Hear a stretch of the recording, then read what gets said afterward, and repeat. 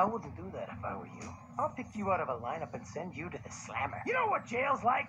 Not a sourdough jack in sight. No golden toasty sourdough slices. No jumbo patties. No bacon. No cheese for you. That's hard time, baby. Any trouble here? No, officer. The young man's going to Jack in the Box. Can you give him a lift? I'm not along the street.